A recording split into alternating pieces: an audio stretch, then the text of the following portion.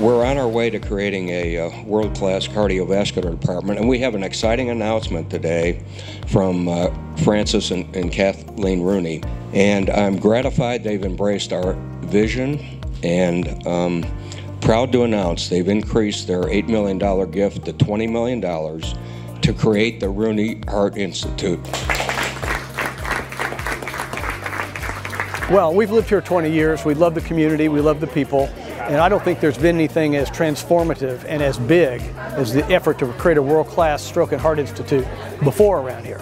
And a lot of people have these uh, exit plans if they are struck with a heart or a stroke to come get stabilized and go to Johns Hopkins or Mayo's or Cleveland Clinic. Now they're going to be able to stay right here with equal or better quality with a world-class facility. And I think that'll help put Naples in a whole new category.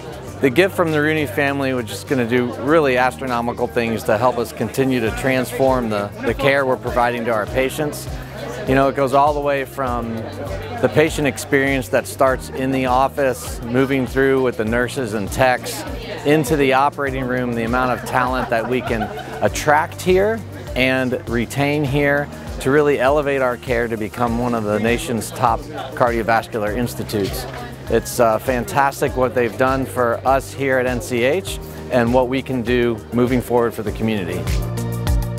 It's really a team effort. It's a collaborative effort between what we want to provide and what the community needs. Um, so, so it's incredibly exciting. You know, from a foundational level, I mean, it, we're going to be able to invest in additional resources, build a heart institute, uh, continue to develop and grow in areas of research and education, which are incredibly important for our journey. It's, it's good for the people that live here. It's good for the kind of people that are coming in here and working, good for our community. And uh, you, you, there's just nothing but really good things to come out of having a world-class healthcare facility in your hometown.